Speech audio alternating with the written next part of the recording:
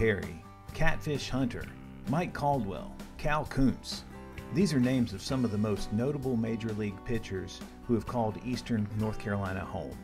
But there are many others, including one who attended Campbell before reaching the big leagues in the 1970s.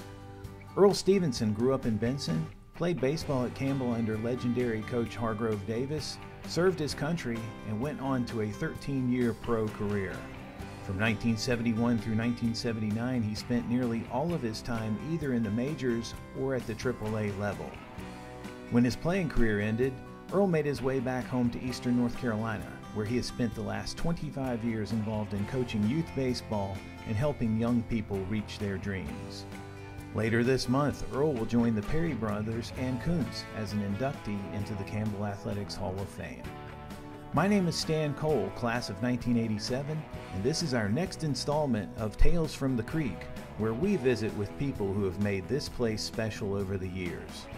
I'm delighted to be joined today by Campbell alum and former Major League pitcher Earl Stephenson. Welcome to Tales from the Creek, Earl, and thanks for taking time to visit with us. Thank you, Stan, and it's certainly a pleasure. Earl, let's just start at the beginning. How did it all begin? Tell us about what it was like growing up in Johnston County in the 50s and 60s and how you got started in baseball.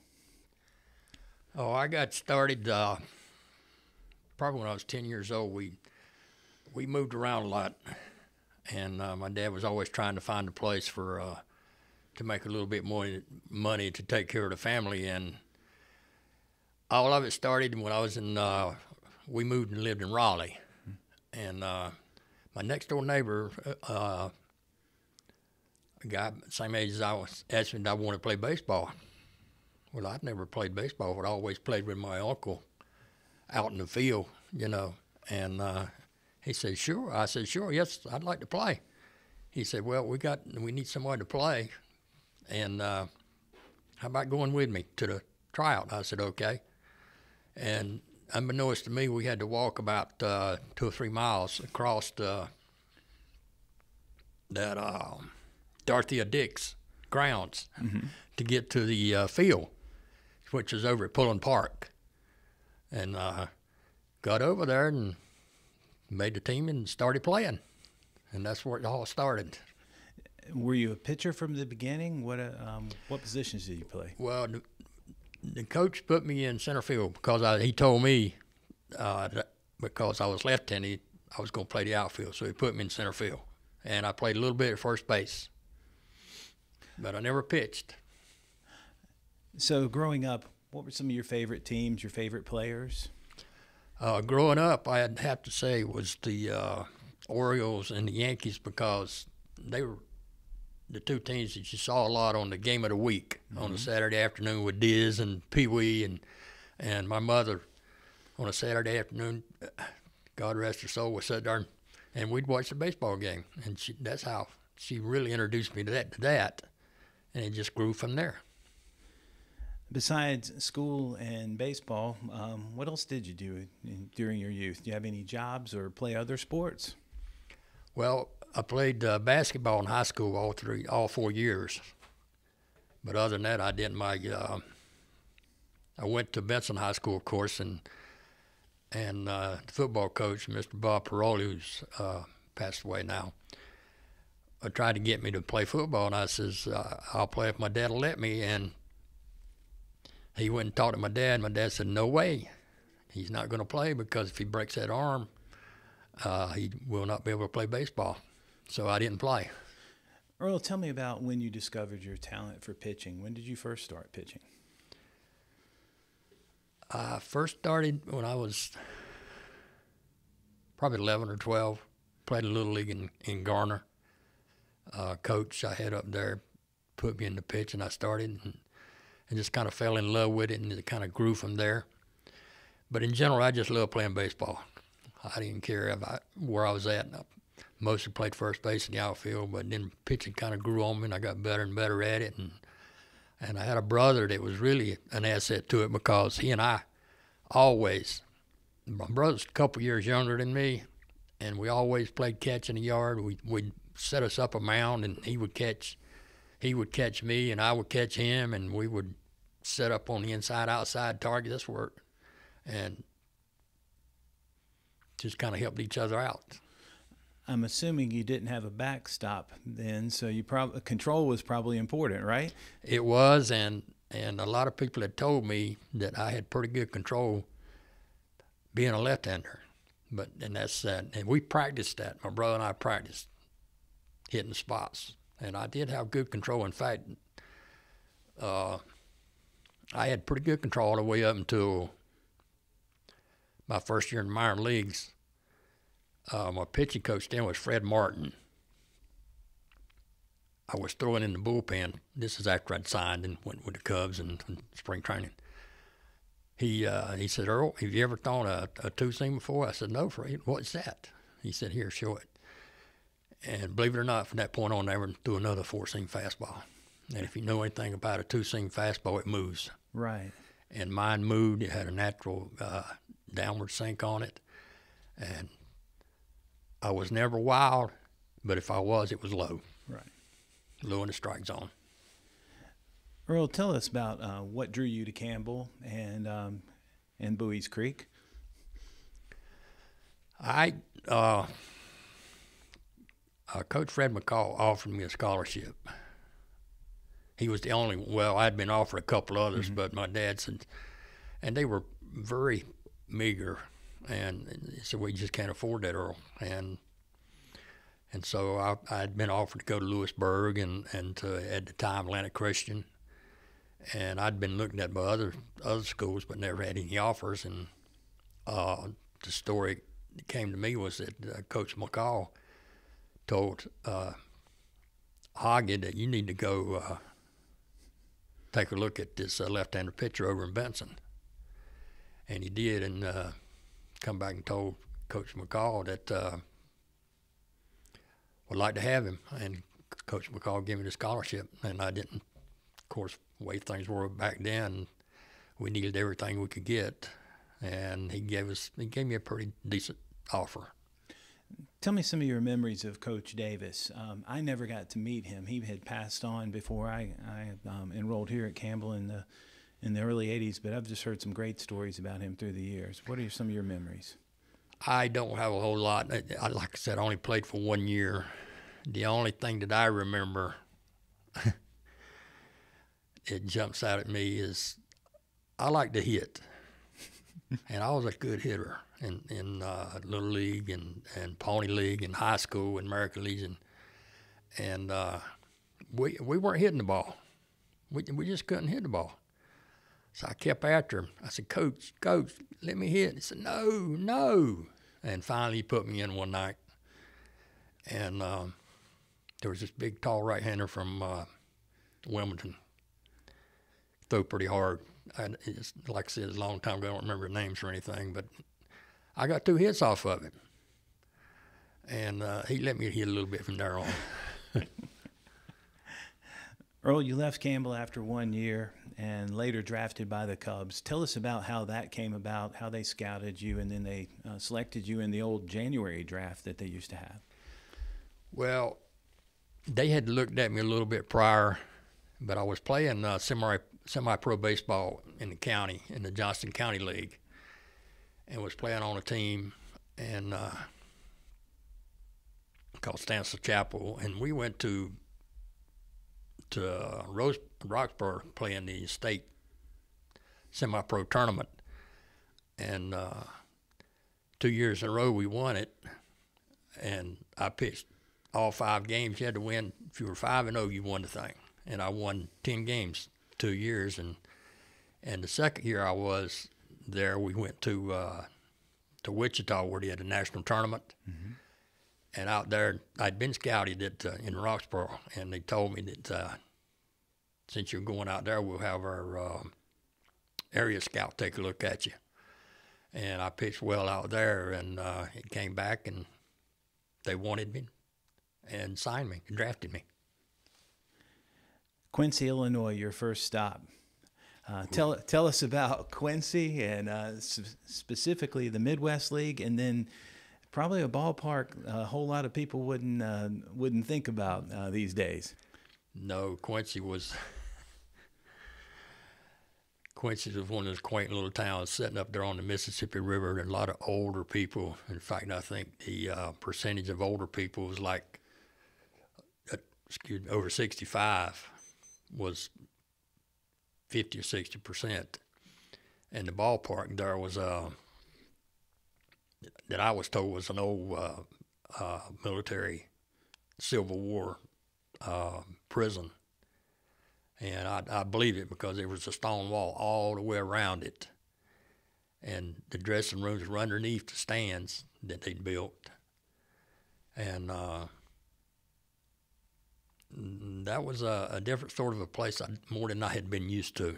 And then there'd be some nights where the, the fog would roll in off the river so thick you couldn't even see. In fact, one particular game we were playing, it started rolling in and you couldn't see the center fielder from the dugout and it. but it was fun. I enjoyed playing up there for the one year. So I'm just wondering, um, you can't see the center fielder. How's the center fielder see a, a, a track a ball off the bat? yeah, that was uh, kind of interesting. They they ended up calling the game. I had to. Nobody could see, and they didn't want anybody to get hurt. Earl, the Vietnam War was in progress, and you were in, drafted in the Army uh, later that year. Tell us a little bit about your time in the service, if you don't mind. Uh, not at all. I was, I was doing really good with with uh, Quincy, and I don't. I think I probably did better than the Cubs expected I would do. And uh, they didn't worry about getting me in a, a, National Guard unit or anything like that. And then I got my uh, my induction notice, and I gave it to them, and they said, "Well, we'll do what we can to, to see if we can get you in another unit." Because, like I said, I'd been pitching well, and they mm-hmm. liked it, what I had done, and they did. They got me one, but it was in Stockton, California. But no one knew that once you got your induction paper, you were done. You had to go. Oh, I'm sorry. You had to go, and so I was uh, I put in for uh, a transfer my a draft my uh, drafting my uh, civil service uh, base was in in Smithfield, so I put in transfer out to uh, Quincy, and they did that, and then I I told my my manager at the time, Harry Bright, that I'm, I'm I said I'm going home. I got to go anyway, so I'm going home. I want to be spend the rest of the time with my parents. So I, I, I had my unit transferred back, mm-hmm. and that killed about 30 days. I was able before I had to go, but I went to then when I had to go, I went to basic training. After basic training, went to California and came back to to uh, jump school, and that's where I graduated from there in three weeks and came up to Fort Bragg and spent my rest of my time at Fort Bragg. And I know everybody was coming out of uh, jump school or out of basic training was going to Vietnam, but they had told us we were wondering why we weren't going to Vietnam, and they told us that the uh, 173rd Airborne had got messed up pretty bad over in Vietnam and everything. They had to reinforce them, so they took a unit of the 82nd, of actually a whole battalion, the 82nd, to, to, to Vietnam to reinforce them.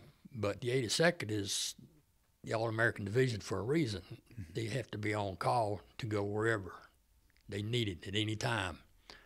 So everything coming out of jump school, we were the first class. went to Fort Bragg, and I went to Fort Bragg, and that's where I stayed. In fact, my unit was trained in riot control, and we almost went to the riots in Detroit.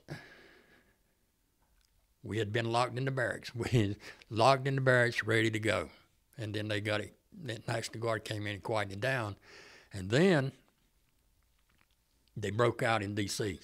But then they got that taken care of, and after that, when I just uh, it was. Uh, rest of the time at Fort Bragg training.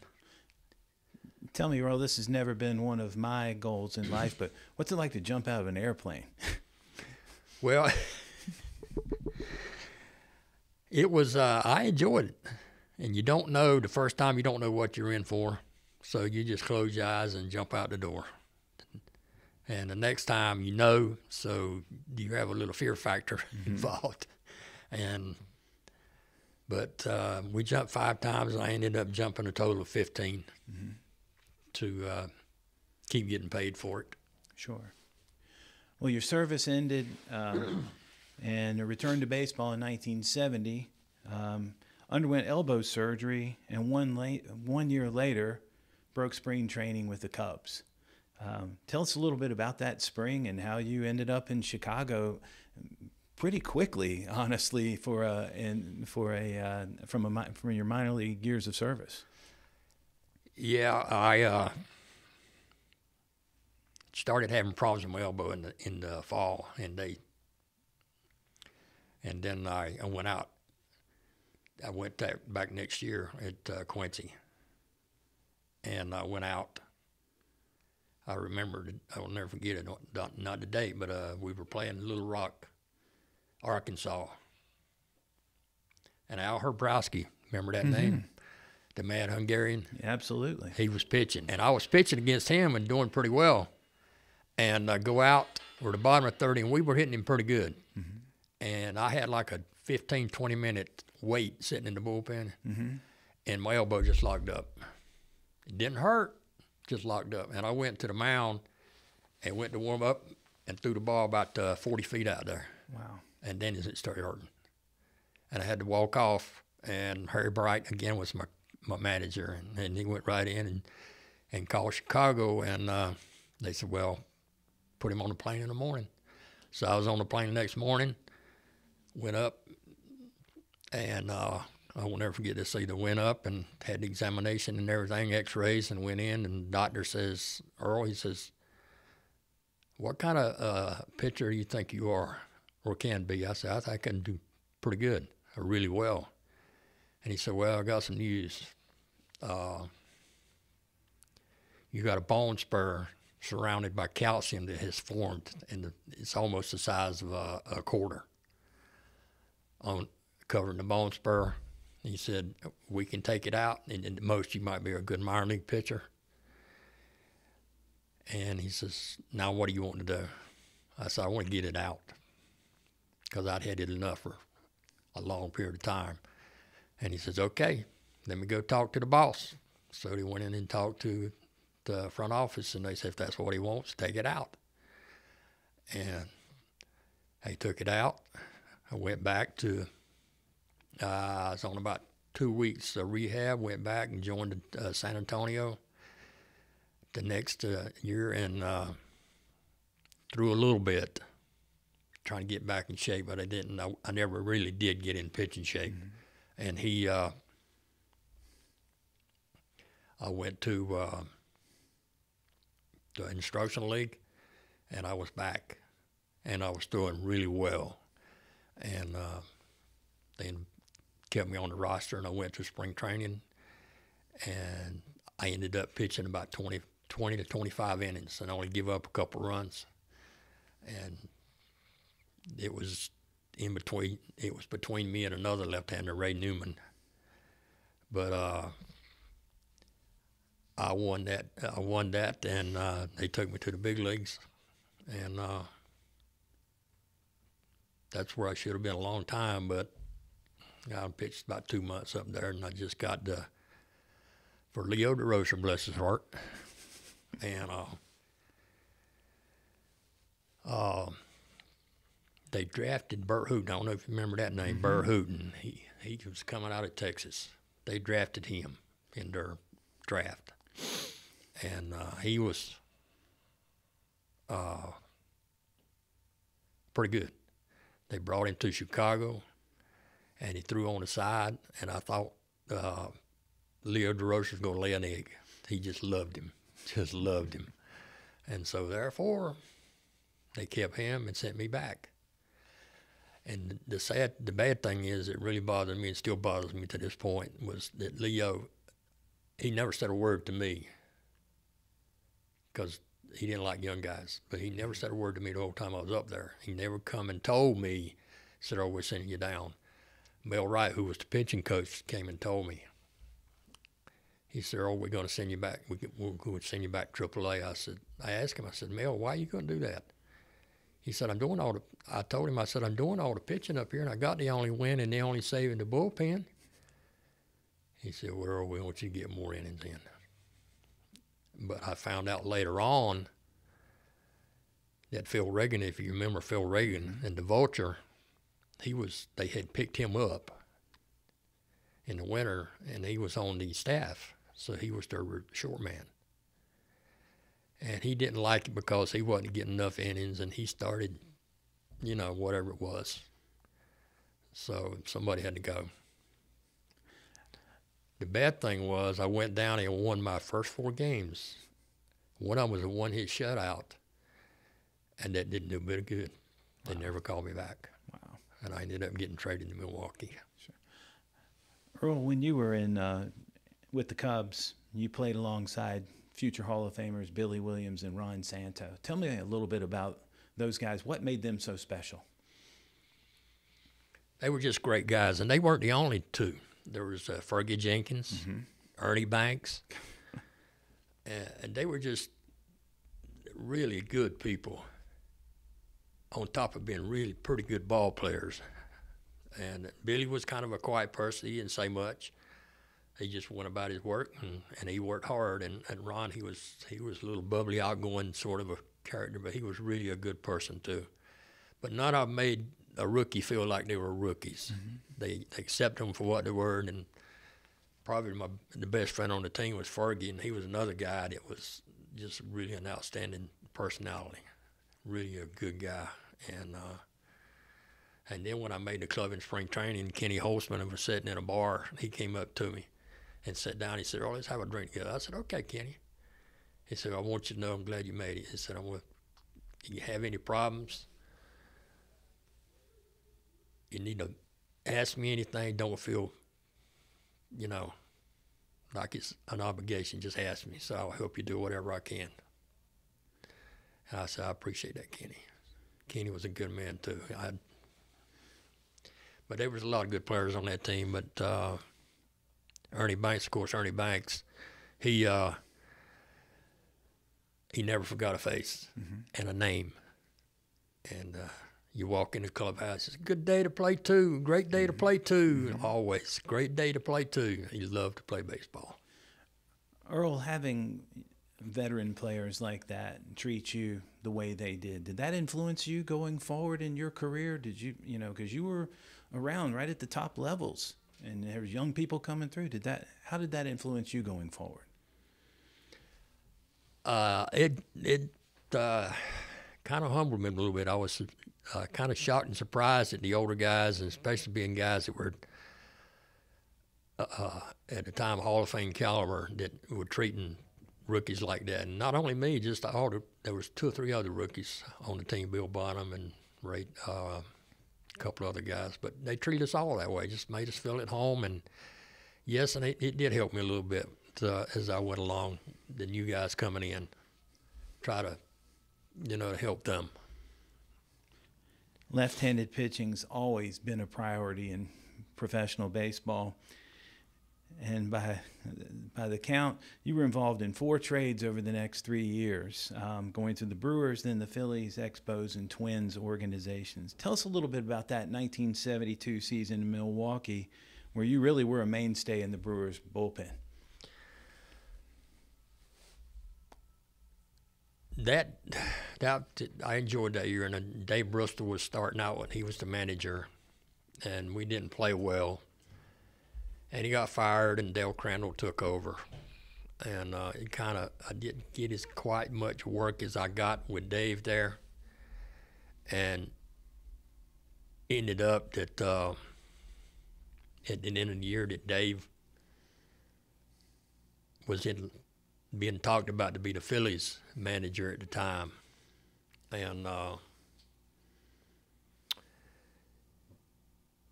he had already told. This is what I heard. Now I'm telling for a 2nd mm-hmm. He had already told uh, someone that he'd wanted certain guys, and mm-hmm. I'm being one of them. And I think Jim Lonborg and Kenny Brett and and Ken Sanders. I'm not sure there was four of us for three. and uh, and I just if he got the job, I knew I would, I would be in the big leagues again. But he didn't get the job, and I had to go, and I went to spring training. In fact, well, they kept me on the roster. I went to spring training and did not get. I pitched four innings off spring training. Did not get an opportunity to make the club, and I didn't understand that at all. And I was given no reason. And finally, I just went in and talked to. Uh, I can't remember the general manager's name at the time. But he says, uh, he says we got this guy Mike Scarce. You might remember that name. He pitched a double A the year before, and he had came up at the end of the year and done well. He said, "Well, we got Mike Scarce pitching out of the bullpen, and he's he's done real well, and uh, blah blah blah, and all that kind of stuff, and we're just going to keep him and send you back to uh, Eugene." Earl, tell me about. Uh, let's back it up to July 1972, um, and you got the call to start against the Angels. Tell us a little bit about that, uh, and and the guy across the uh, across the the field from you in the Angels dugout, their starting pitcher was a guy that most baseball fans know. Yeah, uh, I don't know whether that was good luck or not, but anyway, it was Nolan Ryan, and you know I was the type of guy. I didn't care who it was. I was going to do my best against you, and if it was Nolan Ryan, I was going to go out and give it everything I got, and I did, and I pitched a good ball game against him, and and he wasn't really on, but he was good enough to shut us out. I mean, we got eight hits off of, him, I think I give up five or something. I don't remember exactly, but he beat me in the bottom of the ninth inning on a pinch hit single with one out. Actually, two outs. Get two outs because they sacrificed bunt. They made the two out, and and the guy that uh, pinch hit was the guy I had faced in AAA. And I jammed him, and I jammed him bad, and he put one in the little what they call a little Texas liquor right over second base, and uh, they scored the winning run. Just one of those nights. It's just one of those nights. But that was after you sit down and think about it. Man, Nolan Ryan just pitched a good game against them. And that's the season before the American League and the Brewers were in the AL at that time, adopted the DH. So you got to stand in several times against Nolan Ryan. What was that like? Stand out. That was something. First time up. Now I, I love to hit as I did all, and I do not know, and I, he probably don't know why, but he, th- he threw me a curveball, and he, he had a pretty good curveball, but I could hit a curveball, and it, he threw that curveball and I pulled it in the dugout. Needless to say, that was the last curveball. Here come the express, and three times three Ks, but I'll tell you what, I never looked at it. I was swinging every pitch, Is that the fastest pitcher you ever faced? fast as I fast as I have ever seen. Wow. Wow. Earl, along the way, who were some of the better pitching coaches that you worked with, and, and what did you learn from them? Well, the first one, as I mentioned earlier, was Fred Martin. He was an older guy. In fact, he probably, I don't think he went two or three more years. He showed me how to throw the two seamer, and and he was just encouraging all the time, trying to build not just me, but all the young guys up. And then the next one I really had was um, uh, Ray Miller, who was a uh, manager for the Orioles. He was a good pitching coach, and but he he kind of disappointed me one night. I was pitching in Syracuse uh, with the Red with Rochester Red Wings, and and we we had a doubleheader, and if we won both games, we clinch it. We we were getting beat ten to two in in the bottom of the seventh or the top of the seventh inning, and uh, we came back and won the game, so we clinched the tie. But I had gone into the game and pitched, and I walked four guys in a row. I'd never done that before, but I walked four guys in a row. I never threw a ball above the knees. And Rabbit, his his nickname was Rabbit. He came out. He said, "Oh, "I don't know what to tell you, bud." But after I look back on it, after working with all the kids all these years, and I look back on it, if he'd have just told me to throw a four seam fastball, four seam fastballs don't move like a two seam. Right. If I'd have thrown a four seam, I probably I wouldn't have walked four guys. Who knows? Right. But he was one. He was those two were the the best ones that I had. Earl, you spent nine years competing at the AAA and the big league level. What kept you going uh, those years when you thought you should have been in the majors and in, instead you were in Eugene or Tacoma? Oh, it was hard, but you know, it just comes down to want to play baseball, Mm-hmm. and that just kept me going. And plus the fact that I played on three or four pretty good AAA teams, Mm-hmm. and that just made it a lot easier to to deal with. And there was a couple times where I'd been told, and in fact, one time with Eugene, um, I was pitching pretty well. Jim Lonborg was the manager, if you remember Jim Lonborg. Mm-hmm. He was the manager there, and uh, I was pitching pretty well. And the, the, one of the uh, scouts came down to look to see who they wanted to call up because I think they had an injury or something on the pitching staff. And they went. They when they left, went back to Philadelphia. And there's another left-hander on the team who was pitching pretty decent too, but he was a starter. And they called him up. Mm-hmm. His name was Mike Wallace. Mm-hmm. They called him up. And I said, Jim, what happened? He said, Earl, he said, I tried to get it. And he said, but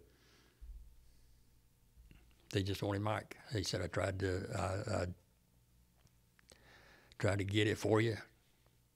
Talk to him, and he said, "No, we'll we'll take Mike Wallace." So In uh, 76, you joined an organization that you followed as a kid uh, in Yep. Baltimore. mhm. And one season later, you're called up to the big club, playing for Earl Weaver and alongside Brooks Robinson. Tell us about your time in Baltimore. Well, I, that's another uh, situation I really enjoyed too. I got called up, I think, the first time by the Orioles when Nellie Briles got hurt, and I got called up for uh, the year, uh, not the year, but for the month. and that was another situation that came down stand that it came down at the end of the month. They uh, Nellie was uh, about to come back on, and they had to send somebody out. And so there was another. There was an outfielder. And The name was Andres Mora, and me. It's between him and me. And they had a they had a coaches meeting, and Ray Miller again was pitching coach for the was then, and he told me, he said, "I'll, I'll do what I can for you," and uh, I said, "Okay, Ray, that's all you can do." And he came back out we were taking bat practice, and he came back out after the meeting. He said, "Oh, they decided to keep an extra outfielder, so you're going back to AAA?" I said, "Okay." Didn't really care for it, didn't understand it, but you know, I also heard it was a, one of the uh, coaches on the team wanted to wanted an extra out. He thought they needed an extra outfielder more than a pitcher. Mm-hmm. But I'd always heard the more pitch you got, the better off you are. Right. Absolutely. So that's just one of those things. Tell us about Brooks Robinson. Uh, he just passed away here in the last year, Yeah, and uh, That's a shame. what? Tell me about um, about playing alongside Brooks. Brooks was one of the greatest individuals I've ever met playing the game, and uh, I just happened to be up there. Well, I was there that month that uh, he just happened to have his uh, last day Orioles in Memorial Stadium, and that place was packed, and it, we were playing the Red Sox, and I took a picture with him. I don't know where I showed you that one or not, but he and I took a picture, and uh, he signed it for me. But it was no better, no better person than him, and needless to say, not a better third baseman. I don't care where he come from or ever will be a better third baseman than Brooks. Earl, who's the toughest batter you ever faced? Rod Carew, Really? yes. And why was that? Well, Rod was a left-handed hitter. Mm-hmm. He was a contact hitter, and he was hard to get out because anything close in the strike zone, whether he could hit it or not, he was going to foul it off until he got his pitch. And he just, he was tough. I mean, I, and I and I had the opportunity to play with Rod in in uh, winter ball I think a year or two after that, and he was the manager. And I've never seen a better hitter than him down there. He he set out for a solid week, came back in a game and hit and went five for five, and one of them a home run. One of those were home runs, and it's just he was just a pure hitter, and he could bunt Mm-hmm. because he could fly, and he got a lot of bunt base hits. And I faced some pretty good hitters, but Rod was the toughest one to get out. I think I know this answer to this question already because of what you've already said. But uh, what do you really think about the designated hitter? Shouldn't a pitcher bat or or not? Well, I think pitcher should hit. It's taken a lot away from the game, but it's helped a lot of players. And now they go into it in the National League, so I don't, I don't think there's. I, I hated when they imposed it to start with. I didn't like it. But it's one of those things. Absolutely. And then, uh, you know, a player like Orlando Cepeda, who had hurt bad knees, was probably the first notable DH. And then some other players who've come along, like Edgar Martinez or others, who really didn't have a position, uh, extended their careers. Yeah. Um, uh, my personal opinion is that if you're going to go up there and throw a 95 mile an hour fastball underneath somebody's chin, you might need to be able to feel feel Yeah. that presence as well. Yes, I agree. Earl, you mentioned Quincy is uh, not your favorite ballpark. What would have been your favorite ballpark you ever played in? Mm, I think about that one for a second or two.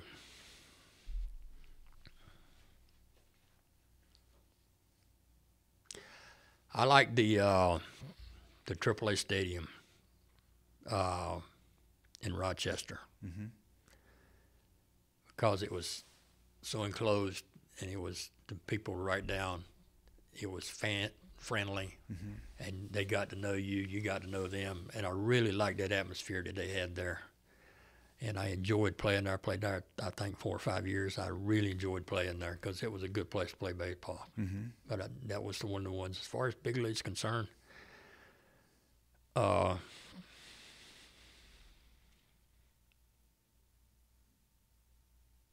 I don't really have a uh, preference there. Now they all like out of a cookie cutter. Mm-hmm. Back then they were the Red Sox. The stadium there was good. The Yankee Stadium was a good place. Uh, now you wouldn't even know it, either or, because they've gone in and, and tore out the clubhouse and made them a lot bigger and a lot nicer. And then with the Red Sox Stadium, Fenway Park was cramped, and so was the old Yankee Stadium. All the clubhouses were cramped and stuff. But hey, that was major leagues. You don't complain. Absolutely. Earl, after your playing days ended, you stayed in the organization as a pitching coach. Um, did the Orioles have a certain way they wanted pitchers developed, or did you have individual plans for each one? What What did you learn um, and and from your your pitching days, and how did you translate it into instruction? Well, they didn't have a certain thing, and I I tried my best to, to do what I could to help the guys in any way, shape that I could as far as throwing. And I've learned a lot since then about pitching and being able and working with kids and stuff. And, and after getting out of professional baseball, uh, worked at Doyle Baseball School for three years, and I, I've learned a lot about pitching that I wish that I had known then. Uh, but the one thing, the one routine I really had was playing every day during the season was getting my start, getting all my pitchers to do play long toss afterward, even after, but do it easy, but before their next start, and and keeping the uh, the middle relievers or infield uh, short the relievers throwing so they would be sharp when we needed them, which once in the big leagues, you have to do it on your own. You have to tell the coach. Sometimes the coach said, "Well, you need to throw. You haven't thrown three or four days." And uh, but I tried to stay on top of that and try to keep them throwing, keep them sharp. Because I remember one time when I was with Milwaukee, I pitched against the White Sox. I was called in and and I wasn't sharp at all. and I hadn't pitched in two weeks, and and and being a sinker ball pitcher, if you're sharp and you're too strong, you try to overthrow, mm-hmm. and it doesn't help any. And I got aggravated about that, and and so I learned from that attitude about that. Earl, you literally traveled coast to coast through North, Central, and South America yes, in your playing career. After seeing all those places and, and living in all those different areas, what made you want to return to this area uh, after your playing days were over?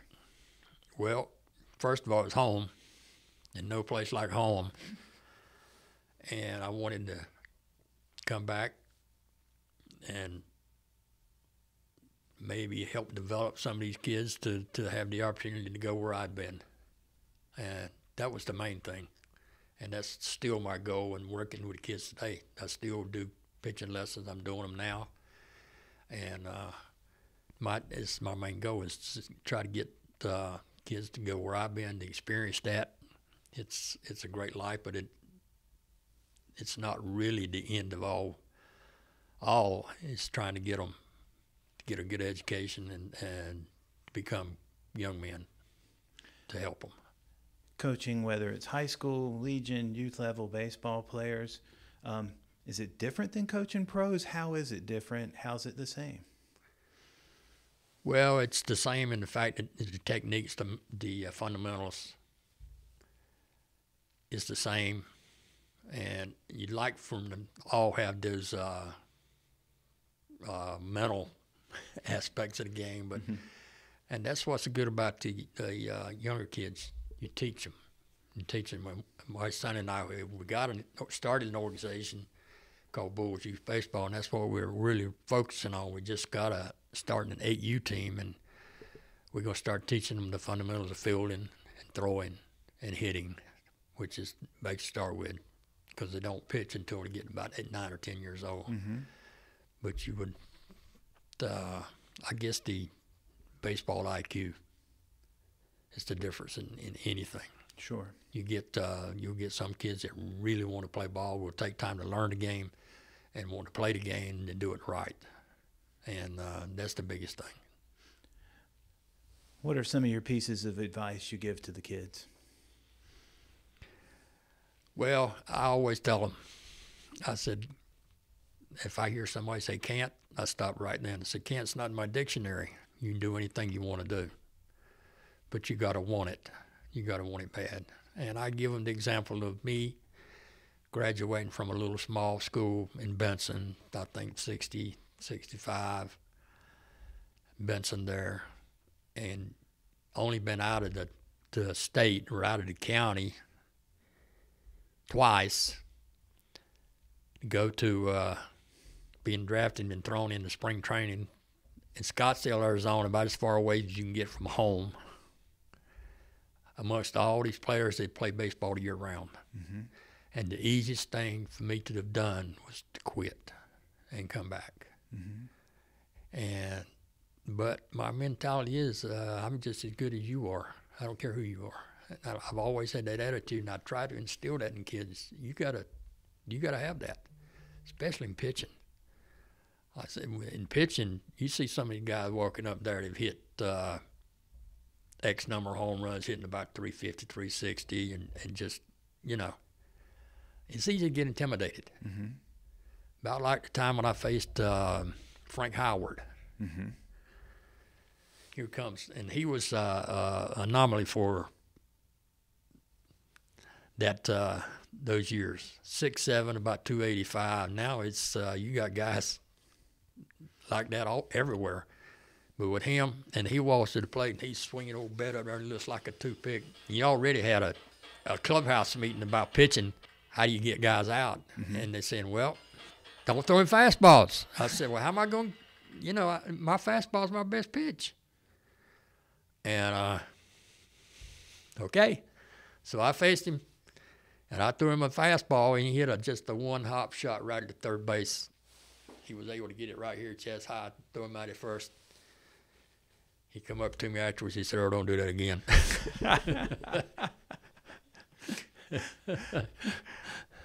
Earl, what about advice you give to parents? Uh, sometimes parents don't don't let the kids have as much fun as they do. What what what's your best piece of advice to parents of young ball players? Well, it's the parents are are trying to play the game through their their children, and they want them to be superstars. They they think they're their next uh, major league ball player, and this uh, you got to let them learn. You got to let them have all the fun they can, and just let them don't don't browbeat them to death because they made two or three errors in a game. That's going to happen.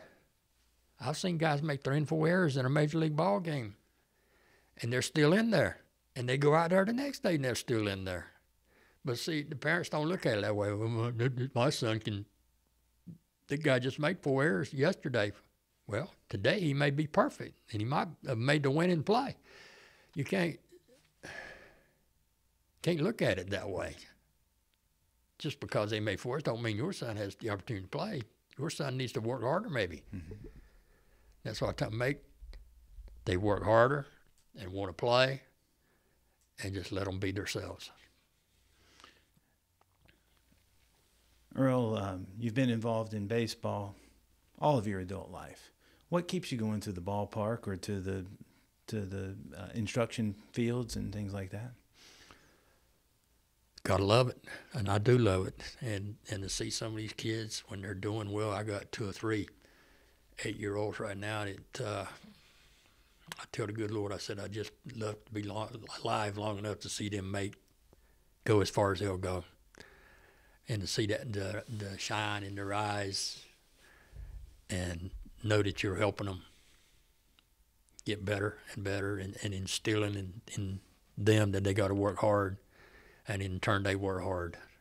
And all the kids I try to instill that in all of them, and even in the teams that I coach, I'm a I'm a disciplinarian because that's the only way you're going to get better. Is you got to listen, and you got to work hard if you're going to get better. Earl, later this month, you're going to be inducted into the Campbell Athletics Hall of Fame. What does that mean to you? Oh, I can't even about to begin it. It's uh, I still ain't digested it yet. In fact, uh, that day that you and I were sitting out in the stadium out there talking about it, and you hit me with that, and I said, "Oh my gosh!" And I still, it's still, I still can't hardly believe it. But you know, the way I feel about it is, I'm really proud of it. We work hard as as athletes we don't look for rewards like this, rewards, but if they come, that's fine too. Finally, Earl, can you put into words how the game of baseball and this community have impacted your life?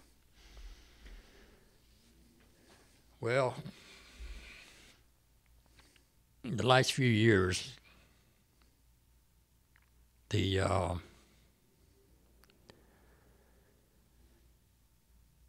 caliber players have gotten better, and I like to think I had a little something to do with some of those guys. And I've uh, I've had some help along the way, and I got my son Jeffrey is is really helped me, and and he keeps me going too. Mm-hmm. Uh, we got a project in mind, and we're trying to get it done, and and I'm trying to get it worked out for him, and and so, and he loves baseball just as much as I do, and uh, trying to get it worked out for him so he'll have something to, to carry on the baseball name. Right. So we're working at it. I'm Stan Cole, and our guest today on Tales from the Creek has been Earl Stephenson. Thank you, Earl, for sharing your Tales from the Creek. Thank you, Stan. It's been a privilege.